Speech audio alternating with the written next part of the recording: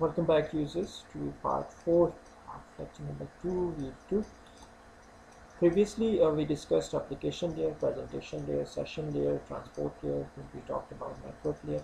Now we are going to our, our uh, second last uh, data link layer the data link layer provides uh, for the physical transmission of data and handles error notification network topology and the flow control Data link layer ensures that messages are delivered to the proper device on a LAN using hardware MAC address.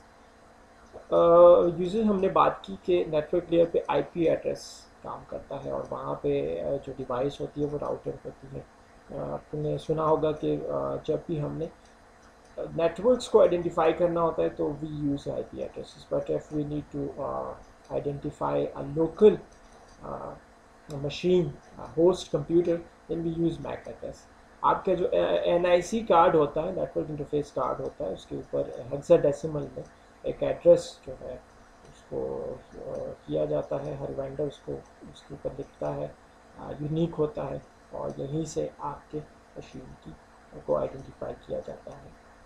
It translates messages from the network layer into uh, bits for the physical layer to transmit. ऊपर से जो transport uh, layer से जो मालूम जो information इसको आती है सॉरी नेटवर्क लेयर से तो ये उसको ट्रांसलेट कर देता है into bits फॉर्म में और फ़िज़िकल लेयर को फॉरवर्ड कर देता है the data link layer formats the messages messages each called a data frame and adds a customized header containing the hardware destination and secure uh, sorry source address.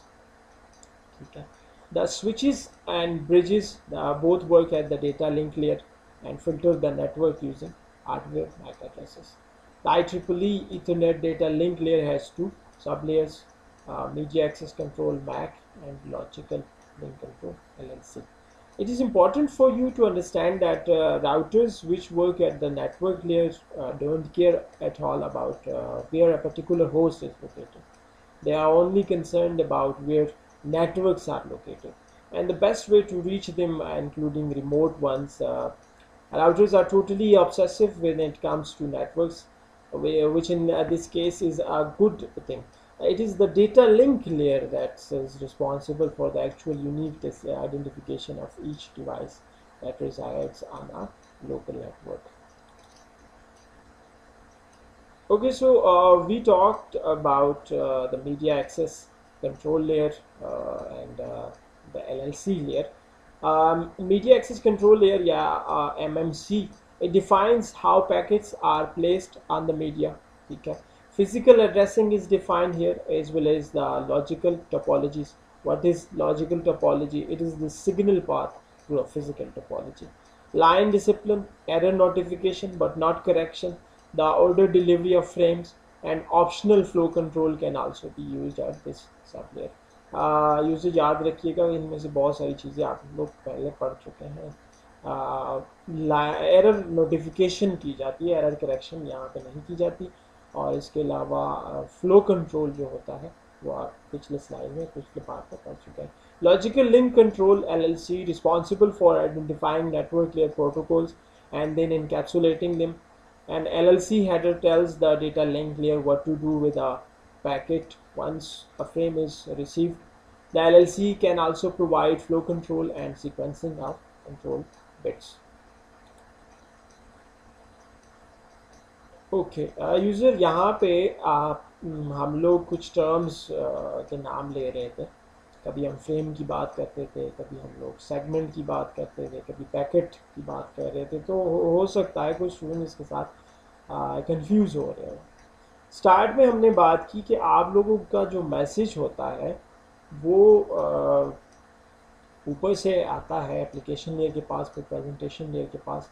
Her layer अपनी अपनी control information इसके साथ add करके नीचे वाले layer को forward कर देता है।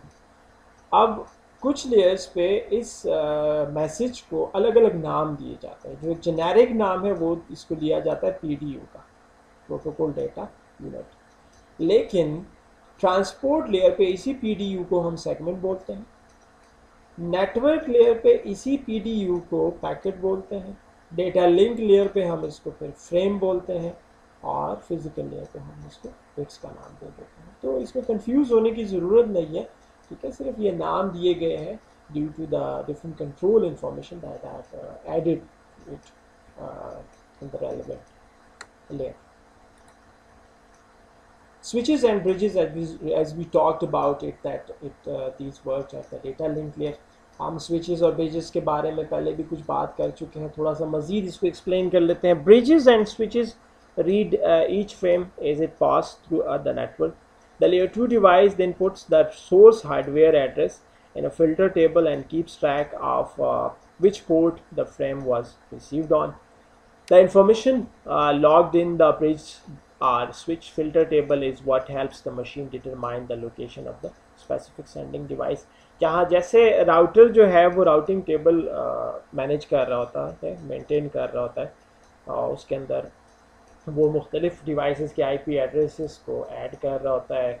उनका फासला डिस्टेंस जो है, वो साथ में ऐड कर रहा होता है कि कितने नंबर ऑफ़ राउटर्स बीच में सोर्स और डेस्टिनेशन में पड़े होते हैं। इसी तरीके से स्विचेस और ब्रिजेस जो होते हैं तो वो यहाँ पे फ़िल्टर टेबल को मेंटेन कर रहे होते हैं। फ़िल्टर टेबल में वो आईपी एड्रेस को नहीं ऐड कर रहे होते, बल्कि जो लोकल मशीन्स होते हैं, उनके मैक एड्रेस को फ़िज़िकल एड्रेस को वो ऐड कर रहे होते हैं। इससे उनको पता चलता है कि जो मुख्तलिफ़ नंबर ऑफ़ मुख्तलिफ़ डिवाइसेस नेटवर्क के साथ कनेक्टेड है, वो कहाँ पे पड़े हुए हैं? तो जब भी इनको डेटा को फॉरवर्ड करना हुआ तो उस फ़िल्टर टेबल के ज़रिए कर सकते हैं। ट्रांसपेरेंट ट्रांसपेरेंट ब्रिजिंग का कॉन्सेप्ट आपको दिखाया गया है। After filter table is built on the To device it will forward frames only to the segment where the destination hardware address is located If the destination device is on the same segment as the frame, the layer 2 device will block the frame from going, going to any other segment. If the destination is on a different segment, the frame can be transmitted only to that segment. Uh, transparent bridging का concept simple है कि आपके filter table में जो destination device है इसको packets forward करने हैं फ्रेम्स फॉरवर्ड करने हैं या सेगमेंट फॉरवर्ड करने वो जिस उसको सेगमेंट को फॉरवर्ड करने होते हैं उसी को वो फॉरवर्ड कर देते हैं बाकी जो होते हैं उनको ये फॉरवर्ड नहीं करता। When a switch, switch interface receives a frame with a destination hardware address that isn't found in the device filter table, it will forward the frame to all connected segments. Okay? If the unknown device that was uh, sent the mystery frame replies to this forwarding action, the switch updates is filter table ये concept आप मतलब book में पढ़ सकते हैं वैसे आसान सा है कि अगर लेट सपोज़ बात क्वेश्चन आ जाता है ना कि भाई फ़िल्टर टेबल में अगर उसका वो नहीं है एड्रेस नहीं है फ़िज़िकल एड्रेस नहीं है तो क्या करेगा कैसे फॉरवर्ड करेगा? तो इस इस सिनेरियो में स्विच जो है, एक मिस्ट्री फ्रेम सारे नेटवर्क पे फॉरवर्ड कर देता है with the physical address of the destination device तो जिसका वो फ़िज़िकल एड्रेस होता है, वो उसको रिप्लाई कर देता है, उसी से, उसी के मुताबिक अकॉर्डिंगली वो अपने टेबल को अपडेट कर देता है। यहाँ पे आप देख सकते हैं स्विच नेटवर्क को दिखाया गया है। हमारे पास एक यूज़र है जॉन और ये सैली है। ये स्विच के साथ कनेक्टेड है। आ, तो ये मुख्तलिफ़ इंटरफेसेस है F zero one F zero two F zero three and F zero four अब ये जो जॉन है वो एफ़ ज़ीरो वन इंटरफेस के साथ कनेक्टेड है और ये डेटा सेंड करना चाह रहा है एफ़ ज़ीरो फोर इंटरनेट के ऊपर। इंटरनेट जो है राउटर जिस इंटरफेस के साथ कनेक्टेड है उस पर जाएगा। तो ये जो दो यूज़र्स हैं, जिसमें एक सैली भी है, उनको ये डेटा नहीं सेंड किया जाएगा। क्रॉस का निशान आप देख सकते हैं, बल्कि ये सीधा एफ़ ज़ीरो फोर जो इंटरफेस है, उसके ऊपर आगे जाकर राउटर को फॉरवर्ड कर दिया जाएगा। फ़िज़िकल लेयर लास्ट हमारी लेयर है। The physical layer does does two things it sends bits and receive bits ठीक है? The physical layer communicates directly with the various types of actual communication media. Different kinds of media represent these bit values in different ways. Specific protocols are needed for each type of media to describe the proper bit patterns to be used, how data is encoded into media signals, and the various uh, qualities of the physical media's attachment interface. The physical layer uh, specifies the electrical, mechanical, procedural and functional requirements for activating, maintaining and deactivating a physical link between end systems. The physical layers, connectors and uh, different uh, physical topologies are defined by the OSI as standards, allowing disparate uh, systems to communicate. When a switch interface receives a frame, uh, uh, we talked about it. We talked about it that uh, hubs work at the physical layer. We have also discussed the hubs earlier. But थोड़ा सा इसके ऊपर इसके, इसके साथ इसके बारे में मज़ीद पढ़ लेते हैं। स्टार्ट में हमने बात की थी कि हब्स जो है होते हैं वो सिर्फ़ जो है डेटा को फॉरवर्ड करते हैं रिसीव करके फॉरवर्ड कर देते हैं कोई इंटेलिजेंस उसमें नहीं होती। तो यही सारी बातें इस स्लाइड के ऊपर दोबारा बयान की गई है। अब hub is really a multiple port repeater ठीक है? A repeater receives a digital signal re-amplifies or regenerates that signal uh, then forward it for the signal out uh, the other port without looking at any data ठीक है? तो hub क्या करता है? Data को receive करता है उसकी स्ट्रेंथ को देखता है। अगर तो उसकी जो पावर है वो कम हुई है तो वो उसको री एम्पलीफाई कर देता है रीजनरेट कर देता है और आगे फॉरवर्ड कर देता है। वो उसको डेटा को रीड नहीं करता। जिस तरीके से स्विच जो है वो रीड कर देते हैं या राउटर कर देते तो यही सारी बातें हैं आप इसको पढ़ सकते हैं। आगे अगली वाली स्लाइड पे आपको एक हब ने, एक नेटवर्क में हब दिखाया गया है।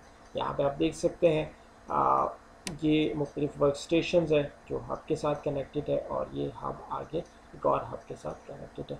अब ये जो यूज़र है ये आ, जिसके साथ भी कम्युनिकेट करना चाहता है लेकिन ये आगे ये हब जो है तो सबको फॉरवर्ड कर देगा। ओके स्टूडेंट्स ये हमारा आज का लेक्चर नंबर टू था। और इसको थोड़ा सा रिवाइज कर देते हैं। We talked about O S I model different layers of O S I O S I model we first discuss the different functions perform by the O S I model different layers We then started detailed description of the or seven OSI model layers. We started from the application layer and uh, said that uh, this layer is not a part of the application using the network but in fact this layer provide interface to that application program. The presentation layer uh, the name refers present the data. It handles uh, tasks like encryption decryption uh, compression and decompression etc it also translate data from one standard uh, translation scheme to another. The session layer is responsible uh, for the maintenance of sessions and dialog control.